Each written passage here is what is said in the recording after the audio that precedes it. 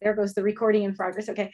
Um, so thanks so much to everybody who's here. I'm looking forward to the discussion.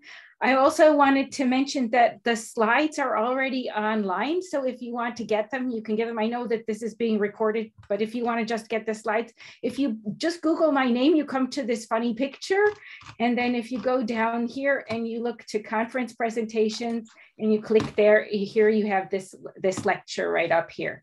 So now I'm going to go to my slides.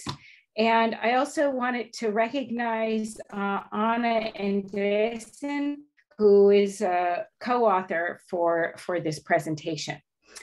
Okay, so this is a, a, big project. It's been going on for years, and it's a, it's a multinational project. It's it's primarily by the uh, Arctic University of Norway in Tromsø and the Higher School of Economics in Moscow, and we've managed to attract funding in both uh, Norway and Russia, and also recently in South Korea. Um, and there's lots of people involved. I'm not going to read this off, uh, but uh, these are just the, the most important key players, most of the, these from um, UIT and HSE, uh, Tromsø and, and uh, Moscow. And there have also been lots and lots of students who have been, uh, been working on this over the years. And here's a brief overview. This uh, talk will have just three parts. Where I'm going to talk about why and how we built this thing. Um, then I'm going to go a little bit into the semantic classification, which I think is um, in terms of um, theory and concepts the, are, are, probably our most important contribution to linguistics as a field. And then I'm going to give you a little live tour of the Russian Constructicon. Russian Constructicon is something that is um, it's up, it's open, you can get into it. You do, you never need a password and everybody's welcome to, to go in there and play around. Um, and my one main point, this is something that already um, Thomas uh, alluded to, is that we took very seriously Fillmore's idea that a language is a structured inventory, that a language is a constructicon. And uh, we are attempting to model the entire Russian language then as a constructicon. So why and how? Uh, let's start out with why. Uh, we can do it both for ourselves and, as linguists to give a better description of our languages and also to uh, extend and test out the construction grammar and to make it possible to uh, uh, facilitate cross-linguistic typological comparison. And in fact, I'm hoping with this talk that we will encourage more people to work on constructicons uh, because this is, uh, this we've actually, a lot of the design we've thought about what would be um, what would be a good basis for further typological extension portability to other languages. And we also want to do it for our learners. I mean, a lot of us, myself included, our bread and butter is teaching language. Um, and we want to help our, our um, students to achieve greater language proficiency.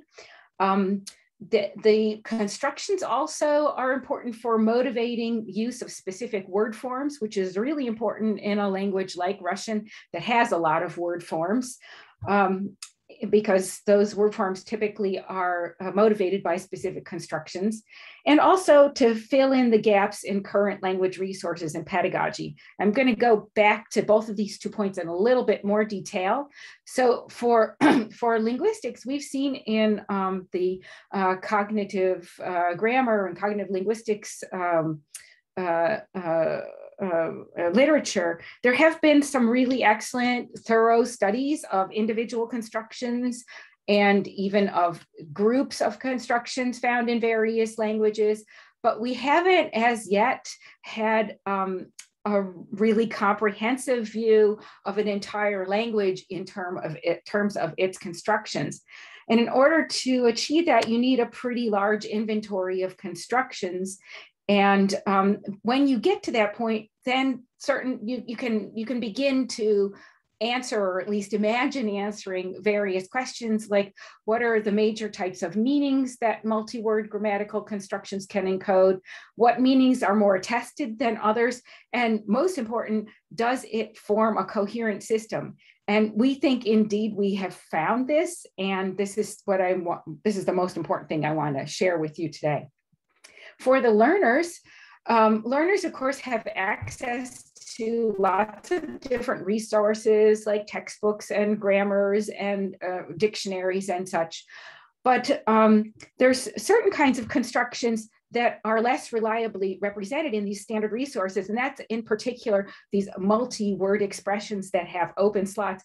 And this is where we have kind of what we have targeted primarily, although not really exclusively, but primarily in our Russian Constructicon. Um, so we can think of, um, you know, it being constructions all the way up or all the way down, either way you you want to want to take it. But somewhere in somewhere in between are these multi-word expressions that have open slots, uh, and that's where our project is mainly focusing uh, focusing here. So I mean, this this one means literally this is a verb phrase under and something accusative and that's how you say she danced to the music or she did a lot of things following something else.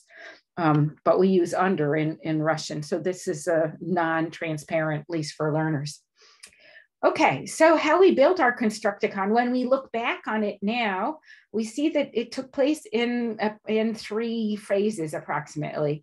I mean, at first we were just sort of like grabbing constructions from places where they were easy to harvest, like from textbooks and uh, scholarly literature. We did a certain amount of crowdsourcing, got up to 660 there.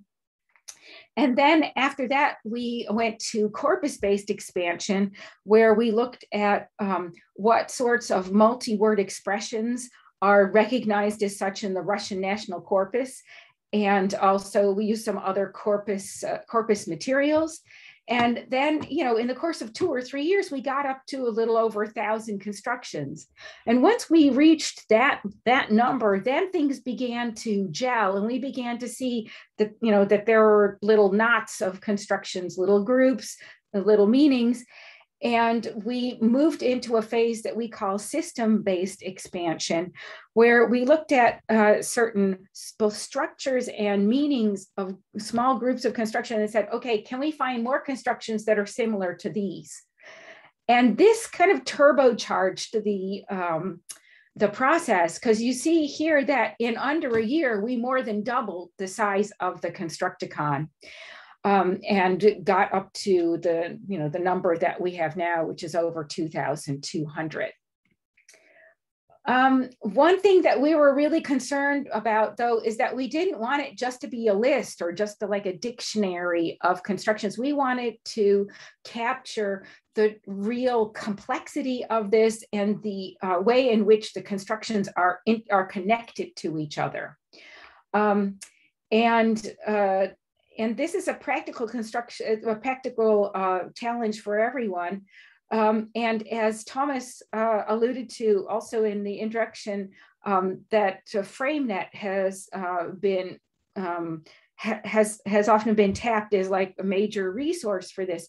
And we did we did use FrameNet and we did start uh, from that extent, but we didn't impose it as an assumption. So in other words, we didn't make an assumption that we would be looking only at um, constructions that involve verbs.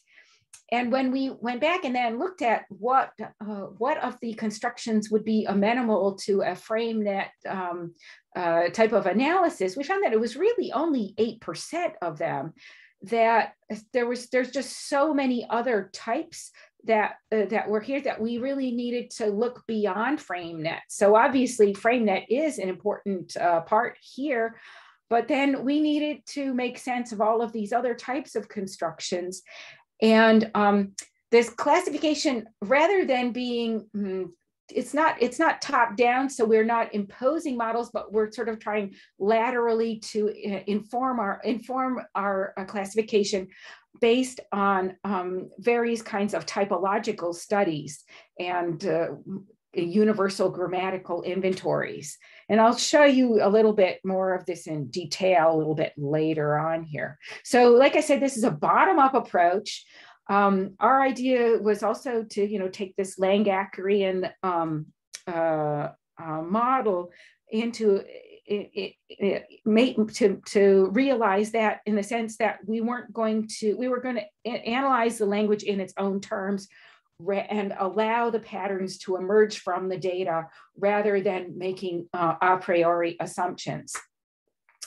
Um, and we uh, we annotated, we actually annotated and re-annotated and re-re-annotated. I mean, uh, when you start working on something like this, you say, "Oh, I think I know how it works," and you then you start working out a um, uh, out a typology, and oh well, then you find that it doesn't work because we have these other new examples, and this had this had to be uh, redone in several iterations.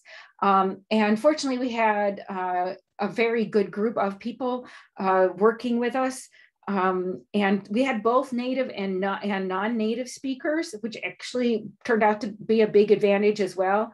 And they we worked together as a team over a long period of time, and we worked towards consensus on the annotations of all of the constructions. Now what I want to do is I want to show you the semantic classification. So here's where it gets kind of into the nitty gritty. Um, uh, this is the bird's eye view. So from the most macro perspective, uh, we see uh, five general classes, and then there are subclasses. So the five classes are these one, two, three, four, five here, and the subclasses are the ones that uh, that are that, that, are underneath each of those classes. And then we have um, uh, semantic types. Uh, within these, so there's 55 semantic types somewhere in you know various places in this table, and everywhere you see a plus sign, that means each that means that these can then be expanded into subtypes, and then you wind up with 182 semantic subtypes of constructions. Uh, it's really important for me to mention here uh, that um, these, uh, these classes and, and all of the classification I'm going to show you, uh, it was never the case where we tried to take a given construction and shove it into just one box and leave it there. Um, instead, we uh, instead we work to recognize the relationships among them. So there are many instances where uh, we have uh, types that are related to each other and also constructions and even whole groups of constructions families etc that are um, that belong to multiple types and multiple classes. So there's a lot of um, multiple tagging going on here so I'm going to go through these five types one at a time, and then we're going to drill down into one of them with, in a little more detail. So we're going to start out with qualia. Uh, qualia is uh, the class of constructions that describe the properties of the given objective physical world, things external to the speaker. The next group we call modality in its neighborhood, and I'm not going to attempt to explain it right now because this is the one that we're going to look at in more detail in a couple of minutes. Then we have a subjectivity. These are constructions that encode the subjective evaluation of a situation, its elements or participants by the speaker. Uh, discourse are constructions that um, structure and organize communication, often referring to a broader context than a single sentence. Often these are responses, for example. And then we have parameters which um, judge things in terms of various scales. And uh, parameters are something that can uh, be layered over all of the other types of meanings. So in a sense, parameters is um, is something that you can add on to the uh, each of these other four four types. And they can uh, so you can have kind of like this build building on of parameters onto all of the other types. And all of the other types are also related to each other in various ways. Um, now uh, hierarchically we see that there are um, various sizes of groupings, if you will, of constructions. So there are families, and that's the smallest grouping of constructions. And these are um, uh, constructions that are like near synonyms in, in a way. They share some semantic, syntactic, and or structural properties. And this is usually some sort of handful of, uh, of constructions. Um, families then group into clusters. Um, and then these will show often a, uh, a radial category uh, uh, structure. So we have prototypical and peripheral distributions. And then the clusters will also form into networks and networks share a general semantic tag. And as promised, I'm going to now go into uh, modality and its neighborhood. And I'm going to zoom in, uh, in even further within modality and its neighborhood on two clusters of prohibitive constructions. So here is a visualization of uh, this class of constructions, the modality and its neighborhood. And this class comprises 301 constructions. And we adopt the traditional understanding of modality that refers to root and epistemic modality. And these semantic types form the core center of modality as we have uh, we've enclosed in this little border here. We also consider categories that are uh, closely related uh, to this. Um, so, so these are what we consider to be the neighborhood of the of of um, of modalities. We have volition, causation, prohibition, threat, request, apprehension, and curse. Um, and thus we model this class as a radial category centered around the core root and epistemic modal meanings, and also including several peripheral categories. In the diagram, we have general semantic types of constructions that are visualized as boxes, and then you have these, these arrows um, and uh, these, uh, these uh, point to the subtypes. So for example, if we take here root modality, it has four subtypes. You see those arrows going off from it, and these correspond to dynamic and deontic possibility and necessity. You see a lot of numbers in um, in parentheses, and these are the type frequencies of each semantic type and subtype. So in other words, these are how many constructions there are in each of these little groups, at least at this point. And that's so, um, and then we have also these solid lines. They indicate the relationships of the semantic categories within the class. And then we have a couple of dashed lines. You'll see at the edges here. Um, and the dashed lines show relationships across classes. Other classes are um, indicated with dotted blue lines here. So for example, we have volition and volition has a connection has a connection with most of the general types within the class. So those are the solid lines. And, um, but if then if we go down towards the bottom here, you see possibility, um, and it's actually related to actuality. And actuality simultaneously belongs to another large class, which is qualia. So, and here I'm going to now give you a couple of actual examples of constructions that refer to the core and neighboring categories. So let's take a closer look at root modality, volition, and apprehension. The domain of possibility is um, is represented by constructions that denote dynamic possibility determined by the absence of obstacles for a situation. So we would say до Москвы, до Лондона можно долететь за 4 часа. So one can fly from London, from Moscow to London in four hours. No, sorry, to Moscow from London in four hours. Sorry about that. Um, and uh, here, it, but it's literally, it is it, it possible to fly. Yeah uh, from from uh, from uh, to Moscow from London, um, and uh, and so and um, and then we also have deontic possibility, um, for which we use the tag permission here, and here we have an example, um, the nistrasna or nichivo yesli clause uh, construction, like nistrasna yesli as. So would you mind if I spoke, smoke? Literally, not terrible if I do, if I will smoke. Um, and then if we go to volition, here's an example of volition, uh, which is closely related to the core central modal meanings. Um, a typical member of this category is an optative construction, like вот бы никогда не работать, uh, which is would it not be great if one never had to work, or sort of like wouldn't it wouldn't it be wonderful if. Um, and the semantic component of volition is also present in other categories. So, for example, in apprehension, this is related to an undesirable situation that the speaker wants to avoid. We have как бы Миша не, не опоздал. so it's kind of like, oh, um, I, if, I'm afraid that Misha could be late, or wouldn't it be terrible if Misha, Misha gets to be late? So we're talking about a set of affairs in which Misha is late, and that's undesirable for the speaker. So now you can see how the core and neighboring categories are interrelated.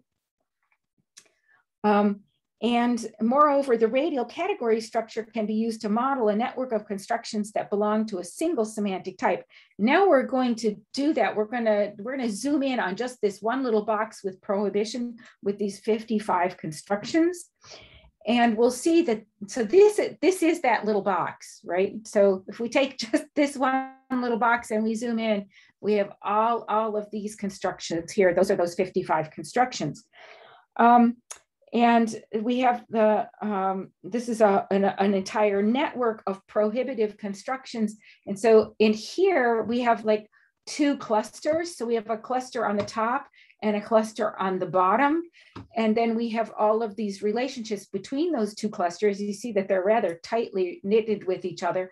Um, together, they form the network of prohibitive constructions, but they also have overlap to various other things. There's overlap to intensity with parameters, overlap with warning, overlap with threat, and overlap with request.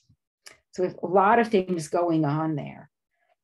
Okay, so um, uh, our uh, this this uh, oh yeah i'm sorry just a second okay so the class of modality is connected to other classes. Uh, for instance modality overlaps with qualia in the semantic type of actuality which is represented by constructions like misha misha udalos pakurits misha managed to to take a smoke. Uh, actuality here refers to a successful realization of an action. So overall, we could say that our um, representation of the modality class as a radial category complements the typologically accepted view of core modal meanings by adding relevant adjacent categories that are closely related to the modal domain and tend to be frequently expressed by means of constructions. So that was the semantic part. And now I'm going to take you on a tour.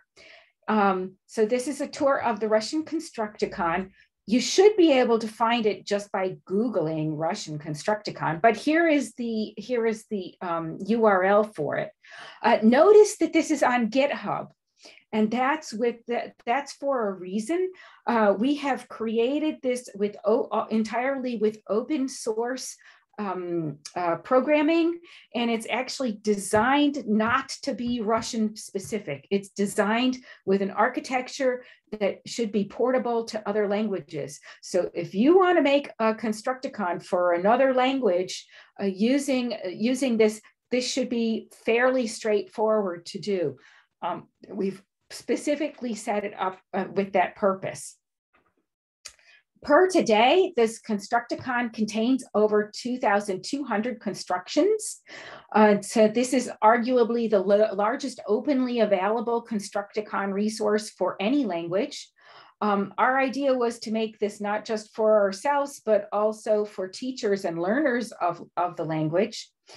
It's searchable in lots of ways I'm going to show you according to semantics and uh, anchor words. Those are the, like the permanent parts of constructions and also syntax and many other things as well. Um, and as I told you, it's open source. All of the data is publicly archived and it's and it's designed to be portable to other languages and therefore reproducible. I have like this canned thing that I've made, but I think it's more fun if I do, if I, it, so the canned thing is there, you can go and get it off the website, but I think it's more fun if I just go to this website and show it to you live. So I'm going to do that now. So, so if I go to the Constructicon, sorry, here's the front page of the Constructicon. This is something you guys don't see. There we go. Um, so here's the front page of the Constructicon. And uh, and here I'm in, I'm actually in the browse. That's the default place that you come into this at. And here you see, you could actually just browse the, you know, 2000X uh, constructions that way. You could uh, click on any one of them if you wanted to. And um, uh, for example, and you'd come up with a construction. Uh, so here, this and every construction has a, an ID number. Uh, it also has a name, which it, it has um, a, like a, a, brief explanation of what it what what it is, and then it also has like um, a, like a um, like a a dependency. Well, no, it's not. I'm sorry. It has like a, a grammatical um, parse of it. And then there's also a really short example. Then we have the definitions in three languages of what the construction uh, does. So this is a construction that says that somebody looks a lot like somebody else. It literally means that he went completely into his father. So in, in other words, he looks like his father. Um, then we have uh, five uh, corpus it, or, or corpus inspired, but corpus examples. After that, we also have a CEFR level. So this is the Common European Framework um, of Reference. So these are the standard levels for learners of a language, and these go all the way from A1 through uh, C2, so all of the possible levels. Um, and then you can click to see additional information. So for example, here I can get common fillers. So one tends to look like one's mother or one's father, for example, semantic type, syntactic type of the construct, construction itself, syntactic function of the anchor, um, the syntactic structure of the anchor, uh, the part of speech, and then we have universal dependency grammar uh, for the, um, the uh, name of the construction and also for the illustration. Um, and then we have a usage label. We don't have any references in this one, but you can also um, search for constructions. So I'm going to search for construction with this word harwosh, and then I get constructions that have this uh, have this word. Uh, so here's a here's one of the prohibitive constructions. This means literally, hey, you up there, that's enough jumping. So it's a way to ask somebody to stop doing something. Um, and here with the, uh, I have more more fillers, fillers here, and here you see also we have uh, various comments and even re uh, references if somebody has done some previous work on this construction. So that's the that's the browse button. Um, then we also have something called Daily Dose, which we think is a lot of fun. This is especially for learners. So here, uh, if you're if if I'm learning Russian, let's say I'm a rank beginner and I'm I, I'm at A1 level, I want to get five constructions that I can learn now that will help me to learn Russian. And um, and I can say, you know, like I can take this one for example, and get uh, get information about this construction, what it, what it means. Um, and this goes all the way up through, you know, through the C2 level, for example, so I can get, you know, all the way up to the, you know, the, the most uh, difficult, uh, difficult levels. Um, okay, and but then for us linguists, I think the most exciting thing is, is advanced search. And here, all of these are filters that you can combine in as many ways as you want to. So um, you can and you can um, click on as many different things as you want to have for this. So for example, um, we were talking about semantic types here. Um, and we looked at the prohibition. So let me see if I can find prohibition and I want to do prohibition and I want to have, I want to learn about uh, how to tell somebody not to do something and I'm at the B1 level. So here I get a bunch of examples of, uh, of how I should prohibit, uh, of prohibition at the B1 level. Um, including that one that we saw a little bit earlier. Uh, where is it? Mm, there it is. This, you know, hey, you up there, stop jumping. Um, so, uh, and, and you can even combine, um, if I do this, you can even combine um, multiple semantic types. And um, for example, we could take a mirative and then we could take, um, let me take something uh, something else with um, uh, with a degree of intensity. So, um, oh, I didn't want absence a degree of intensity and I can get, you know, I can get something that's both mirative and degree of intensity. And I can uh, bring up an, uh, such an example, this one. Some of the some of these have more material in them than others, as you see. So, um, and this could be also useful for uh, teachers. I mean, if you're teaching Russian and you want to you want to choose sorry. You want to choose you want to choose uh, a, um, uh, constructions at a very at, at a given level. You can also bring up all the constructions that are at a given level. Um, we also have instructions. Um, so this explains how to do the advanced search particularly but all of the all of these tabs. Um, most most interesting for us was uh, we were talking about the semantic types um, and if you go to semantic types, so so literally every every um, word or abbreviation that's anywhere on this site is explained here with examples. But if we go back down to those semantic types, we have all of the individual semantic tags are also um, mm, they're also explained here, and every single one with it with with an actual example. So this is pretty this is pretty thorough, I think. Um, and these two pages with the, are available in both English and in Russian. So we have all of this in English and in Russian. And then you might have noticed that there was a YouTube showing up here. We have our own YouTube channel with instructional videos for how to um, how to use the Constructicon and also um, you know, here's the, here's the whole uh, YouTube channel. So uh, this basically takes you through the entire um, uh, the entire website and how it can how it can be used and searched and all of it all of its possible functions. So there's that, and I think then what I'm going to do is I'm just going to I'm just going to um, close this out uh, with offering uh, some um, conclusions. So uh, what we're doing is we're proposing a system of semantic tags that subdivides our items into meaningful classes and smaller groups and also facilitates the identification of constructional families. And this system of tags helps to turn the initial list of constructions into a structured network. And although our methodology and findings are, of course, based on a single language, they can serve as a basis for cross-linguistic comparison and as a starting point for building Constructicon resources for other languages. And that's basically what I wanted to say today. So I'm gonna stop sharing here and turn this over to anybody who wants to ask some questions. Thank you very much.